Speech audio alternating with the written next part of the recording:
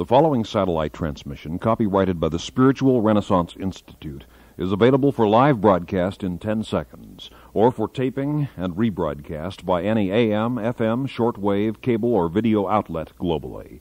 This is a WBN Worldwide Broadcasting Network presentation.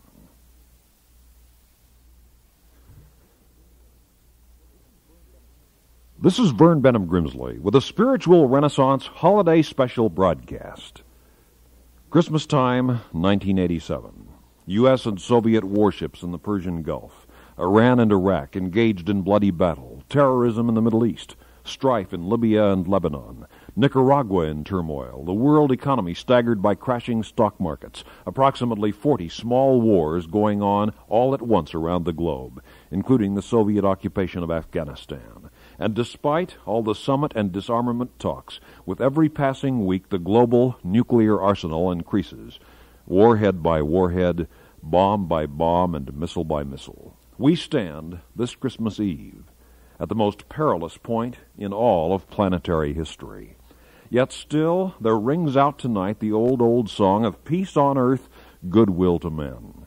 For the promise of Christmas ever remains the undiscourageable quest for a better world, a higher hope, a new beginning, and a spiritual renaissance of the love of God and humankind within the hearts of the peoples of this perturbed planet Earth. Throughout the world, December 25th is celebrated as the anniversary of the birth of Christ. Although the scriptures did not give an exact date, and later there was no general agreement, the date was finally established in 35 AD by the Christians of Rome, Italy the selection of December 25th was due in part to the fact that it coincided with the greatest pagan festival celebrating the winter solstice. Sun worship was an important part of the religions of the ancient races, and the followers of Christ decided not to compete with pagan festival dates, but rather to incorporate them into their own celebrations. The extravagant orgies of ancient Rome were held at the time of the Saturnalia, in Germany, Scandinavia, and England. There was a December festival in honor of what they called the God of Golden Sunshines, observed by dances, feasting, and religious rites. In Scandinavia, it was called the time of Yule. Through symbolism, the transition to the current observance was a simple one, celebrating the birth of Christ as the sunlight of the spiritual world, drawing pagans away from heathen sun worship. And the joy of Christmas is universal. Bells are rung when princes are born, and they toll a dirge when heroes pass. All nations have their festivals and holidays, but the whole world stands still and pauses for a moment in reverence before this Jesus of Nazareth. As Shakespeare said, so hallowed and so gracious is the time. There seems to be a universal awareness of the fact that peace on earth can come only from goodwill among men. So simple a truth and yet so difficult for the human mind to learn. Listen, then, for a moment, to the poetry of Christmas time. In Finland, they sing this Christmas carol Don't give us fame, O Lord above, don't give us riches great. We beg for peace, we long for love that stems from heaven's gate. Let Christmas be eternally the symbol of a world set free, not fame nor power nor worldly worth, but peace on earth. O bless us with a kindly home, and grant us wisdom in thy sight. Let children round the hemlock roam, and make their eyes as candles bright. Then home will be eternally thine apogee. Dear Father, grant us on this earth a happy home and hearth. Hold out your hand o'er rich and poor, and make their Christmas true and bright. Let happiness and peace endure, and send the dark one's host to flight. Then peace will be eternally our destiny. We pray thee, God and Lord above, for peace and home and love. Here's a German Christmas carol. O come, little children, O come one and all, O come to the cradle in Bethlehem's stall. Come look in the manger, there sleeps on the hay an infant so lovely, in light bright as day. O see where he's lying, the heavenly boy. Here Joseph and Mary behold him with joy. The shepherds have come and are kneeling in prayer, while songs of the angels float over him there. O bow with the shepherds on low bended knee, with hearts full of thanks for the gifts which you see. Come lift up your voice, the child to adore, sing joy to the world, and peace evermore. An old Russian Christmas carol goes, Let us praise thee, O God in the heavens. Let us worship our Lord of the earth. May his good servants never grow old. Let us sing praises to our Lord. Let us sing praises. In Wales, they sing this Christmas song See the blazing Yule before us. Strike the harp and join the chorus. Follow me in merry measure while I tell the Yuletide treasure. Fast away the old year passes. Hail the new, ye lads and lasses. Sing we joyous all together, heedless of the wind and weather. In Yugoslavia they sing, O ye shepherds, gaze in awe. On a sight no eyes yet saw, Christ sleeps in a stable's gloom, come to save us from our doom. And so the endless singing of the songs of Christmas. The English novelist Charles Dickens once wrote, I have always thought of Christmas time, when it has come round, as a good time, a kind, forgiving, charitable time, the only time I know of in the long calendar of the year when men and women seem by one consent to open up their shut up hearts freely, and to think of people below them as if they really were fellow passengers to the grave and not another race of creatures bound on other journeys. It was on Christmas night, back in the year 1776, that George Washington led his troops across the Delaware River to attack the British the next day in New Jersey. Most human beings, in their own ways, have their own Delawares to cross, things to do, problems to solve.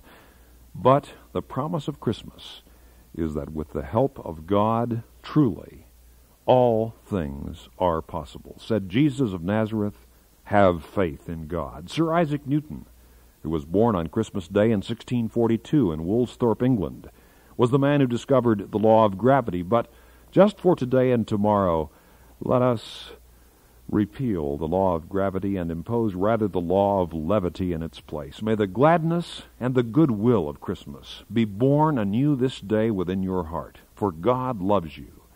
And in that lies happiness for today, and more than that, more than happiness for today. There lies in that hope for tomorrow. The author Bruce Barton wrote about Christmas, sleepless and bewildered, but gloriously proud. The husband of Mary emerged from the stable and made his way to the census taker's booth. For it was the decree of imperial Rome ordering a general census that had brought them to Bethlehem. But enrollment blanks and reckonings kept the census taker busy, and all he saw was another peasant standing there in the line. Name, he demanded in a routine tone. Joseph, carpenter of Nazareth, of the house of David. Married? Yes. Wife's name? Mary. Children? The carpenter drew himself up. One child, he answered proudly, a son, Jesus, just born. Was there any comment? Did the petty government official who wrote for the first time the name that was to be above every name, did he wonder as he wrote? Probably not. It was just one more name on the census roll, just another boy. But the influence of the child lives on, uplifting the standards of action and thought inspiring laws, enlisting the strong in service to the needy and the weak. And so we celebrate his birthday and the festival of all children everywhere. They are the really important people of this earth, for in cradles and at the foot of Christmas trees are the lives that are to overthrow and rebuild all that we have ever built. Nothing is so powerful or so perfect that it cannot be transformed utterly by the miracle of another little girl or another little boy. For God works not only in large ways, but in small ways too.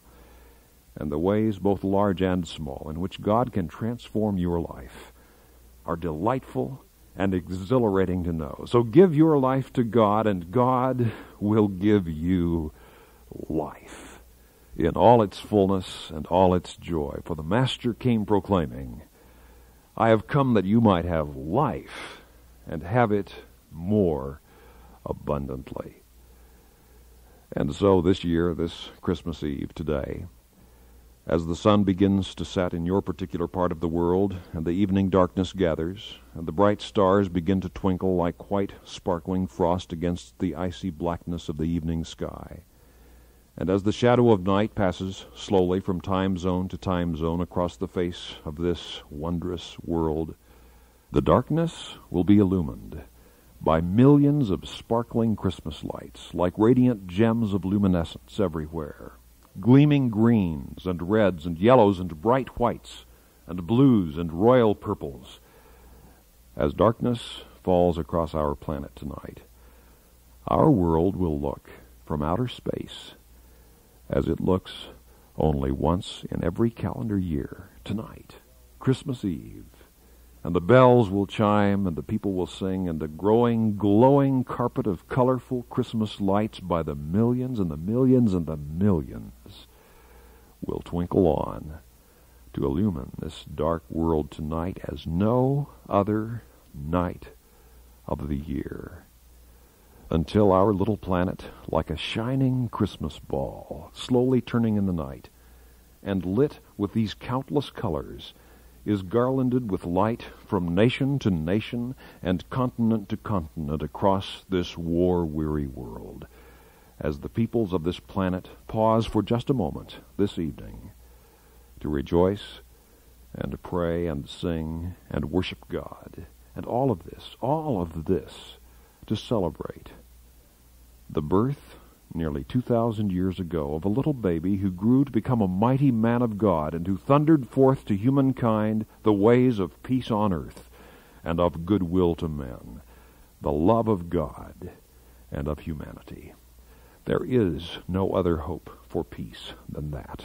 And may the light of Christmas shine more warmly and brightly than ever before within each human heart tonight. Merry Christmas. For free literature on the spiritual life, on the new hope which there is for your life in this Christmas season, if you will turn to God with all your heart, all things can become new. Something new can be born within your soul this night, if only you will choose to have it so.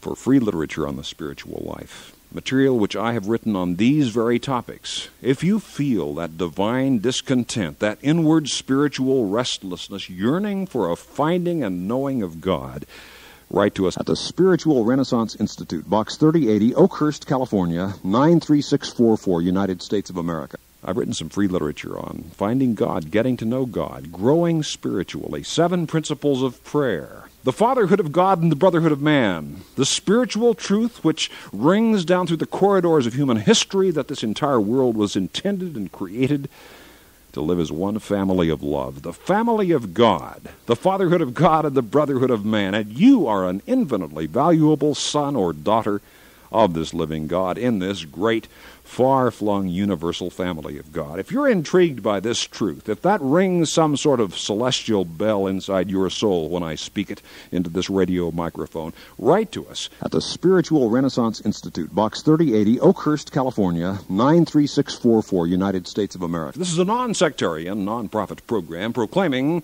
the dawning spiritual renaissance, the fatherhood of God and the brotherhood of man, the worldwide family of God. And so for now, this is Vern. Vern Bennom Grimsley saying, May God's will be done by you.